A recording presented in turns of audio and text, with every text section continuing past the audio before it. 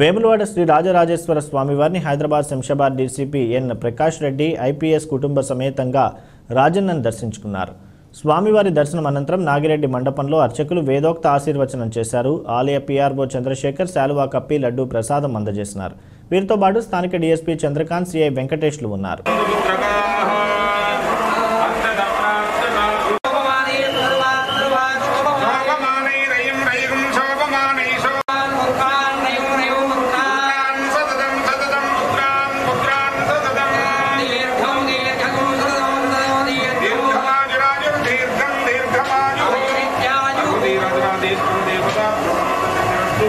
रमेश्वर प्रसाद सिद्धिरस्तु नम पार्वती पतये हर हर